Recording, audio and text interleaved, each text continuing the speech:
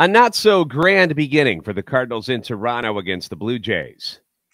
That would mean that the Cardinals will likely be focused on pitching this trade deadline, so we'll discuss that as well as the still possibility of a Juan Soto trade, and we're starting to see more f- concrete packages form and our thoughts on those packages. That and more on today's episode of Locked On Cardinals. You are Locked On Cardinals, your daily St. Louis Cardinals podcast, part of the Locked On Podcast Network. Your team every day.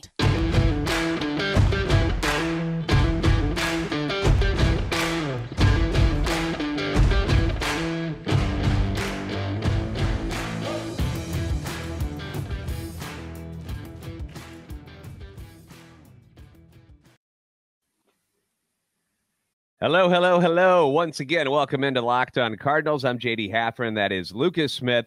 We are your hosts for Locked On Cardinals, part of the Locked On Podcast Network, covering your team every day. You can follow me on Twitter at JD Sports Radio, Lucas at LJ Fastball. Follow the podcast at Locked On Cardinals. Subscribe to the podcast on iTunes, Spotify, Google Podcasts, wherever you find podcasts. You'll find Locked On Cardinals, a show serving Cardinal Nation and getting the best fans in baseball, all the info about the birds on the bat that you can handle. Uh, last night, not the uh, greatest of showings for the Cardinals up north in Toronto. Um, man, to get thumped by the Blue Jays 10 to 3, Lucas. And you knew the offense would be less potent without Goldie and Arenado. You also knew the Blue Jays could hit a little bit. And that's exactly what they did 10 runs on 14 hits, three of those home runs. Your thoughts? It played out pretty much as as we thought it might, right? You, you saw that the positive stuff of Dylan Carlson early, he had a monster home run. You saw Albert get in on fray a little bit as well as he had an RBI knock in the third inning. So it started out okay. Andre Pallante was good, not great. But then you see Jordan Hicks, Junior Fernandez come in, and that's when the wheels came off the bus, if you will. And we'll talk more specifics on what this means in segment number two. But this does highlight the need for pitching right, on, this team in the starting rotation and in the bullpen. There's no question about it. Yeah, I mean it was it was a rough start for Pallante. He gets up uh, gives up three runs on five hits in the first inning. Vladdy Guerrero Jr. gets that big fly, just two batters into the game, and uh, the Blue Jays get the lead after the uh, Carlson home run that you mentioned in the first. Settle down after that though. He throws three scoreless innings and allows just two hits, which is great, but you fall into a hole early, and without your big boppers, you, you feel like it's going to be kind of tough to come back, but the Cardinals were resilient. Uh, they got the game tied back up in the third inning. Nootbaar gets that leadoff walk. You get an Edman single. Carlson another RBI single. He he's been hitting very very well, very uh, very clutch recently out of Dylan Carlson. And then with two outs, Albert beats the shift with that that rocket smash uh, to the right side and uh, ties that game up. Albert making history again last night, by the way. That was his uh, 3,027th game, passing Stan Musial and Eddie Murray for sixth all time in Major League Baseball history. So kudos to one Albert Pujols. But um, you mentioned the game goes from uh, kind of good to bad quickly in the sixth inning with Jordan Hicks in the game. And just the random wildness that seemingly pops up out of nowhere from him. And it does him in again. He goes one, two, three in the fifth, and you're like, all right, there's the Hicks we we like. this is the one we, we, we expect to see. And then in the sixth, the, the damage is all done with two outs, too. Uh, Chapman gets that RBI single, then back to back walks by Hicks, loads him up for Springer. And that's when Junior Fernandez comes into the game. And let's be honest, that's a tough spot for, for anyone to take over in, isn't it? Incredibly. I mean, we, we saw Andre Pallante get put in this spot a little earlier this season as well, the bases loaded. Then give up a grand slam, but walked in two runs right? So this yeah. is not an easy spot for anybody, let alone these young guys. Pallante being a rookie, Fernandez, he might still be classified as a rookie depending on how many innings. It's kind of weird, but regardless, it, it's a tough situation for anybody, let alone somebody that is so young. And with, with Junior Fernandez, we were kind of talking about this off the air, if you will, before we recorded that. We've been pleasantly surprised with what Fernandez has given the Cardinals this season. You know, he was scoreless for a short while there. His ERA was looking pretty good. But we've started to see this coming of, of the Junior Fernandez that we did know of the, the, struggles of Junior Fernandez. Not walking as many people, but still struggling all the same. Grand Slam was not the last runs he gave up. He gave up more runs later. So this is not necessarily a huge shock that Fernandez struggled last night. Uh, maybe it's a, it's a shock just because of how good he's been this season, but it's not like this is I don't know, Ryan Helsley all of a sudden giving up eight earned runs, right? Like we, we've seen this before from Fernandez. It's unfortunate that it manifested itself on a day when the Cardinals pitching needed him to not do it. um, yeah. But at the end of the day, we told you guys yesterday that this team, being the Blue Jays, they can freaking hit. And this yeah. is a team that is arguably as hot as it's ever been this season. They started out on a wrong foot. They're, they're swinging it well now got to give some credit to where credit is due, and credit is due to this offense. It's a lethal lineup, everybody. I mean, without the Yankees doing historic things in the AL East, this is a division winning type of team, right? So we can't forget that either. And the uh, you know, at least on the field, the players that were there, the better team won last night, JD. Just plain yeah. and simple. Yeah, uh, I've said it before. Sometimes I know we expect our pitchers to come in and never give up a hit and never give up a run, but sometimes the batters win. It, it does happen. Um, when it comes to the bullpen, uh, I, I, this shows another need that this team could use another arm or two back there that you can rely on. I mean, you you get a situation like this, two outs, bases loaded, George Springer, great hitter. You hope you can, you know, put out that fire. Um, but Junior comes in and he, and he immediately falls behind 3 and 0, which you just can't do. You just can't do that against a, a, hitter of Springer's caliber. And then he rips that 3 2 sinker. He fights back. He, he actually should have walked him. I don't know what Springer was swinging at on that 3 0 pitch. And he, he fouls it off for some reason. I think it even took Danny Mack off guard. He was like, uh, swinging on 3 and 0 at that for, for some odd reason. But, uh, it worked out for him because he rips a 3 2 sinker that just tailed back over the heart of the plate, knocks it over the wall and left center for the grand slam. That was basically the game. I mean, you were one strike away from escaping with just one run scoring, but Springer wins that battle, makes it eight to three. You mentioned Fernandez gives up two more in the next inning, including another home run by Alejandro Kirk, and the Cardinals fall 10 to 3 last night in Toronto. We got maybe a little bit of excitement when Tyler O'Neill at the end of the yeah. game came very, very close to uh, hitting a grand slam of his own uh, both of us uh, said to each other that he clearly doesn't work out enough. And nope, that's that's an issue. he's, he's skipping arm day. He, he's not strong enough. He's got warning track power. That, that's all it comes down to it. JD. Yeah, he's just yeah. not strong enough. all all those muscles that you see, they're fake. It's a false advertising. yeah. so yeah. I would not but, be challenging um, him to an arm wrestling contest anytime soon. I'll put it that way. I don't no, want to get no, embarrassed he, on he could probably lift more with like a finger than we can with our entire upper bodies. Like he's uh he's a massive. Well, okay, gun show out of Lucas here on a, a Wednesday. There you go. There you go.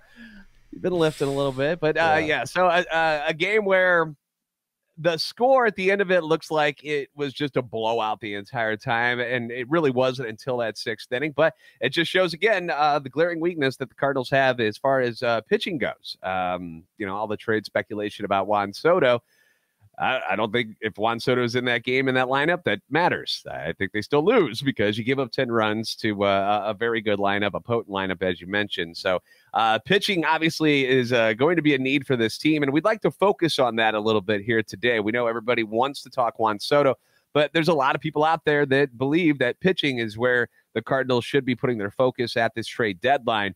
So, uh, coming up here in just a few, we're going to actually give you some of the arms that are available according to reports that uh, the team should be interested in acquiring at the trade deadline, which is creeping up here real, real fast, August 2nd. So uh, we'll get to that here in just a moment. But first, if you're ready to pop the big question, or perhaps your significant other has a birthday coming up, or it's an anniversary, or just a special occasion in general, it's time to find that piece of jewelry that is as unique as she is, but do it with the modern convenience of online shopping. And you can do that at BlueNile.com. Now, if it's an engagement ring you're looking for, BlueNile.com should be your first stop because of the convenience. The, the days of having to drive around to different stores, it's over. You don't have to do that anymore. BlueNile.com has simple online tools that let you choose the diamond shape, size, and clarity, as well as the setting style. Their bench jewelers will then handcraft her the perfect one of a kind engagement ring that she's always dreamed about. And that's what you want when you pop the big question. You just want to see that smile and the excitement on that on that woman's face. So it's not just about engagement rings, though. At BlueNile.com, they've got you covered when it comes to all fine jewelry, with their experts on hand 24 seven via phone or chat to help you get that memorable gift that can fit your budget. Make your moment sparkle with jewelry from BlueNile.com. And going on now, they have the Blue Nile anniversary sale. Save up to 40% on classic fine jewelry pieces and 25% on engagement ring settings. Plus, every order is insured, ships free, and arrives in discreet packaging that won't give away what's inside. And if you're like me, you sometimes procrastinate. So if you need your special purchase fast, in most cases, Blue Nile can deliver overnight. And if it's not perfect, no problem. 100% satisfaction guarantee with free shipping and return. Shop stress free and find your forever peace. Go to BlueNile.com today. St. Louis Cardinals will hopefully be active at the trade deadline. And while I won't be here, that hopefully means that JD will be active at the trade deadline as well. Thanks to you again, everybody, for making Locked on Cardinals your first listen every day. The MLB trade deadline again is next Tuesday, August the 2nd. Locked on MLB has all the breakdowns. Locked on Cardinals will have rapid reaction to any news that is made, including up until the deadline. So subscribe now to Locked on Cardinals on YouTube or wherever you get your podcasts and get notified when each episode premieres. We are expecting some fireworks by the trade deadline by the St. Louis Cardinals, whether it's Soto or pitching. And that's what we're going to talk about right now the possibility of trading for Juan Soto.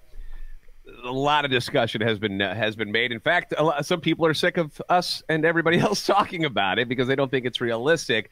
But a lot of people realize that pitching is really where the Cardinals, need some help, which is uh, why many think that trading for Soto is a dumb idea when it doesn't fix what seems to be your biggest and most glaring problem. So we've compiled a list of some of the more popular names that appear to be available at the trade deadline on August 2nd that could improve this team, not only in the starting rotation, but also in the bullpen. So uh, we're going to throw out some names here, some possible solutions for the rotation. We'll start there first. Um, names that should be familiar to you right now after uh, the last I don't know two weeks of the show because it is one of the biggest things that we need to be talking about is who can they bring in to to make things easier for them as they try to make a push towards the playoffs. Uh, one of the uh, names right off the top is Madison Bumgarner of the Diamondbacks. Some people think uh, he's not good enough.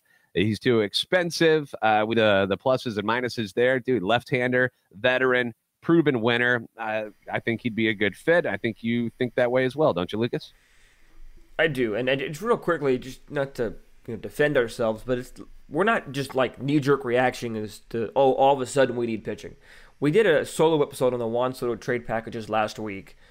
We still have recognized since that moment that this pitching need is there. Like we've always mm-hmm. known that. It's just becoming more and more glaring since the Juan Soto trade rumors have started to speculate right after the All Star game. So I just wanted to say that like this is not just a knee jerk thing. We've spent time talking about this throughout and, the, and, throughout and in all well. honesty, the the pitching need has been there since Flaherty went down. To be honest with you, because you already had Matz beat up, and then Flaherty mm-hmm. goes down, who you're hoping. I mean, that's your ace. That's the guy you were really hoping would come back and be the Jack Flaherty of a couple years ago, and then he's gone immediately. Since that moment pitching has been a problem.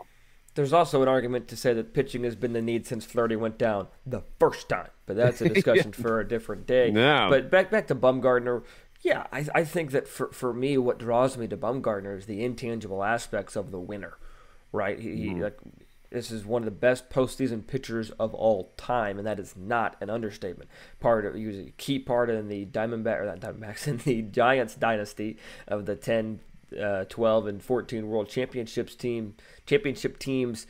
This dude knows how to win. He knows how to get it done. He's somebody that will likely benefit as most of these pitchers would from the cardinals defense the infield and outfield defense. Keep the ball in the park keep the ball on the ground you're going to get outs with this team. Even as banged up as they are even without Goldschmidt and Arenado this is still a pretty good defensive team, JD. So I think that Bumgarner, for me, what, what draws so much interest there is the intangibles. I know the contract yeah. might not be super team friendly for his age and what he's giving you, but if you're looking for stability in the rotation, if you're looking for innings, Bumgarner can mm-hmm. give you those innings.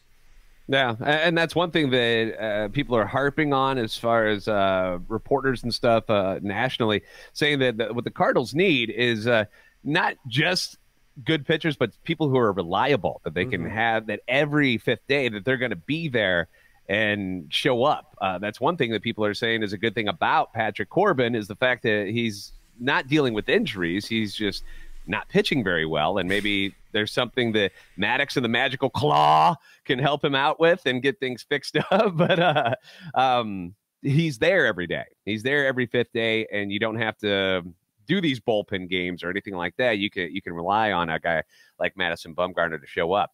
Uh, we mentioned the for the A's, Frankie Montas. Uh, we went into that yesterday. Uh, the Reds have two pitchers, Luis Castillo and Tyler Mahle, that are clearly available. I think the Luis Castillo idea is. Um, I, I, think the Cardinals will get outbid for him. 1st mm-hmm. off, I don't know if the Reds would ever trade with the Cardinals in the first place unless they got something massive in return. Uh, Tyler Mahle is, a, is an interesting name. Uh, your thoughts on Mahle? Shut down the Cardinals over the weekend in St. Louis. Mm-hmm. I mean, mm-hmm. that's for sure. I mean, he, he seems to always pitch well. He seems to be kind of one of those guys that just finds ways to get out, get out, yeah. right? And I think that when you look at this trade deadline, when you look at the starting pitching market, there's not like one ace out there, right? In my opinion, like there's not a David Price of 2016 or 17 when he went to Toronto. There's not a Justin Verlander of the 2017 at like that just goes over there just makes that team just like instant favorites, right? So when you look at the pitching market, I think that for the Cardinals to be successful in it, they need to make multiple trades. Right, like if they just got Bumgarner, or they just got Syndergaard, or they just got Montas, or they just got say Tarik Skubal, who just got made available by the Tigers according to reports. Like if just one of those trades happens, like like by itself, not that's, that, that's a loss, right? Mm-hmm. Like a, a, trade for Soto is a win for the offense, obviously, but there's not even like I don't. I would argue there's there's not a number one out there. You could argue mm-hmm. Castillo, mm-hmm. but is he a number one on the Yankees behind Nestor Cortes and Gerrit Cole? I don't know. Probably not, right? So that's the thing about the starting pitching market is that you're going to need to make multiple trades, which then makes it more complicated or as complicated as the Soto trade, because who do you give up to who, right? Like if mm-hmm. multiple teams want the Masyn Winn or the multiple teams want a Nolan Gorman, you got to make sure you pick and choose. You're getting the most value out of that trade, right? So mm-hmm. I know I mm-hmm. just threw out a bunch of names, but I just I just want to get to that point that the starting pitching market is a little large, but there's not like top heavy arms around. So you're going to need to make multiple trades. Yeah, yeah. Luis Castillo, the closest thing that you have to an elite pitcher, and then it's just kind of a, another tier below that. Um, you mentioned some of the names like Syndergaard. Uh, you've got Jose Quintana. People are, are, checking in on him with the Pirates. Mm-hmm. Uh, so a name that has popped up recently that I, am interested in. I just don't know what it would take to get him away from the Marlins. Is Pablo Lopez, who who spun another gem last night uh, against the Reds gosh, he would look good in a Cardinals uniform, wouldn't he, Lucas? Who wouldn't? Just first of all, best uniforms in baseball, in my opinion, really close. But yes, Pablo Lopez would be. And they said that you know Jon Heyman reporting that they're trading or willing to trade everybody not named Alcantara. I saw a funny reply to that tweet, by the way, that said breaking news: uh, Sandy Alcantara changes his name. Thought that was kind of funny. Uh, but anyways, Pablo Lopez would certainly be an arm that I think would be made available. I mean, yes, the Marlins are only what five or six games out, like we talked about yesterday but they're not going to buy. Like I, I, think we talked about it mm. off air. Like that lineup is not a buy worthy lineup, right? So they're going to try no. and offload some of this pitching that's pretty strong, even outside of Alcantara, right? And I think Jose or uh, Pablo Lopez would be a, a great find for St. Louis. Yes, he's right-handed. You might argue that they need a left-handed pitcher, but you might be able to get Lopez for not as much. Like if like if I'm going to offer you this package right now, I think that Brand, uh, Brendan Schaefer's offered this package up on Twitter a couple of times. Alec Burleson, Pablo Lopez, straight up. Uh, from the Cardinals' standpoint, are you saying no to that trade? Oh, absolutely not. Alec Burrows, he's not even really part of the plan. right. So if you could get somebody like Lopez in return for him, by by all means, I, I, will take that trade right away. No problem whatsoever. I'd be shocked if the Marlins would accept something like that. But again, we don't know what it's going to take because that first domino hasn't fallen yet. Right. I feel like teams will have to wait till the, uh, Luis Castillo gets moved because that will kind of set the bar, and then the the pecking order goes from there. Um, I but if I if I had to choose, if you had Pablo Lopez or Madison Bumgarner, which one would you want in a, in a trade deal? Not worried about what you're giving up, just as that player itself. That, that, that, that is a tough one. I, I probably go Madison Bumgarner, maybe a little bit more of a proven commodity. You know, if, if I had mm-hmm. you know had to choose one of those two, and I saw somebody make the point on Twitter as well, and you know, doom scrolling on different replies through Twitter that Pablo Lopez has never thrown this amount of innings in his life, or he's getting to that threshold, right? So you don't know what he's going to do mm-hmm. after it. Some people could make the same argument for Andre Pallante, right? So I'm taking more proven. I'm taking Bumgarner. But again, everybody, the point is you can't make one trade in this starting pitching market and consider that a success, especially right. from the Cardinals' standpoint. If they get busy with the pitching, they're going to make more than one move, in my opinion, or at least they need to. They should. They should. Uh, other names that are thrown out there: Chad Kuhl from the Rockies, Jordan Lyles from the Orioles, Brad Keller in Kansas City. So uh, those are some of the starting rotation guys. As far as the bullpen goes, um, you know the Pirates usually are in sell mode, and I have friends who are Pittsburgh fans, and I just am like, I wish you guys just wouldn't sell for once and just try it out for a couple years. Right. But uh, just because I don't know, I just feel like they just give up on these guys a little too early. But uh, you know, according to reports like David Bednar, who was an All Star, he's somebody that could be had. Uh, you've got uh, Joe Mantiply from the the Diamondbacks, also an All Star. Do you could you package something together to get Bumgarner and Mantiply out of Arizona?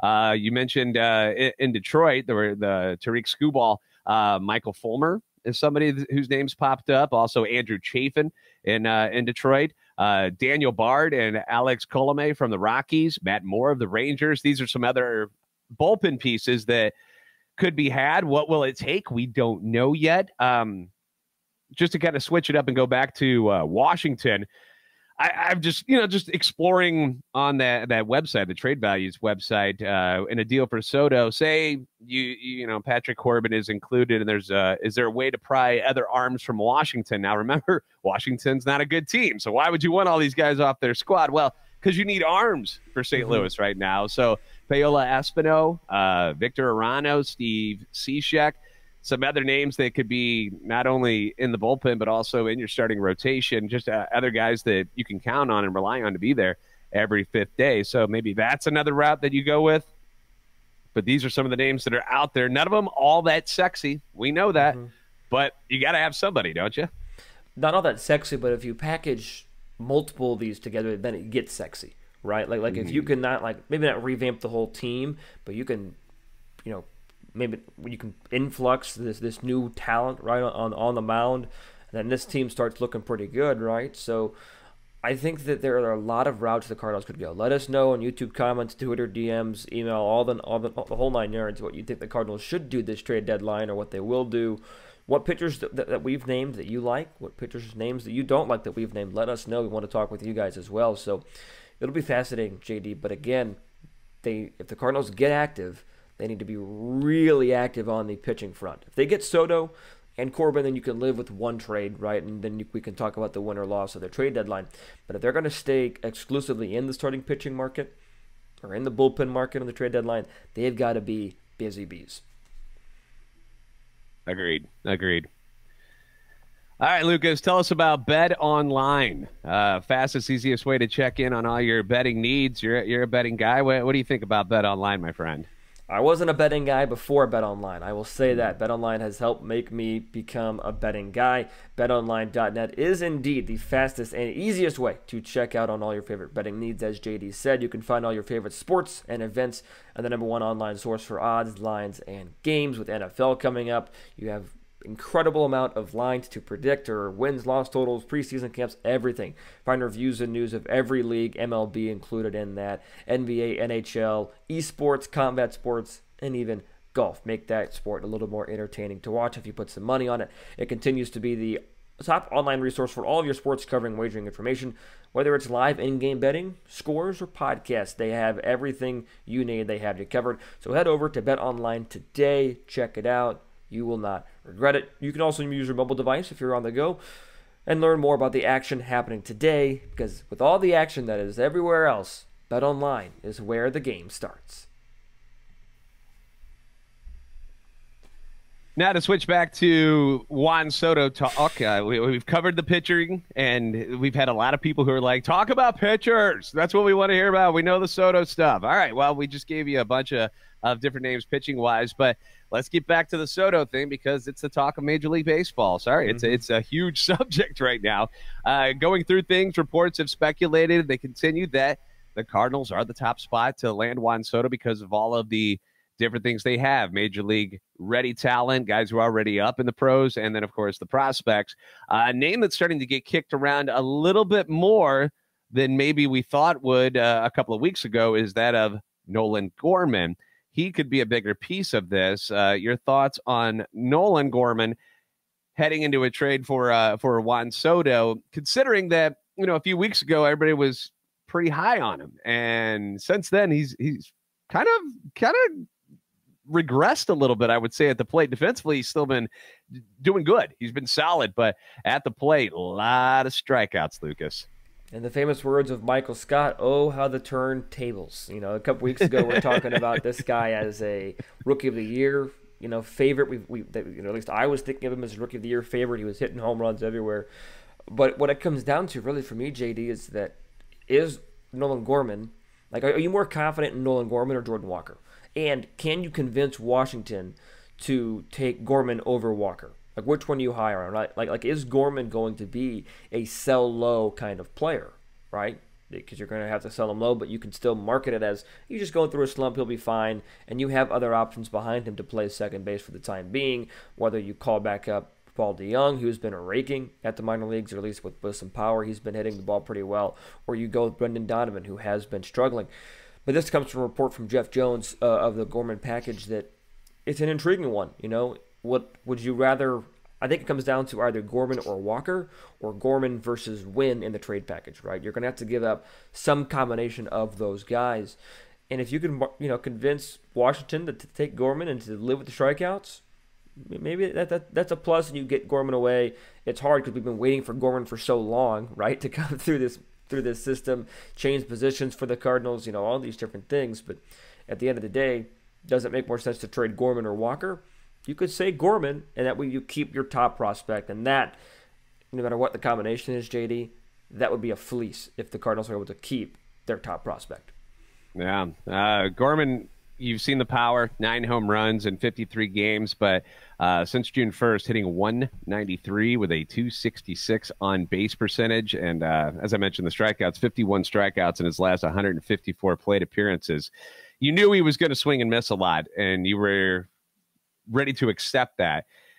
But then when you see it happen two or three times a, a game in situations where where you need you need somebody who's to just put the ball in play. I I find myself watching these games and I'm like, there's just moments where I'm like, dude, all you got to do is put it in play, and the runners move over or a run scores, and then that untimely strikeout happens, whether it's Gorman or Sosa or Knizner or whoever at the bottom there, and it just it's infuriating to watch. Where it's just like, just put it in play, guys. It's all you got to do. You don't swing for the fence here.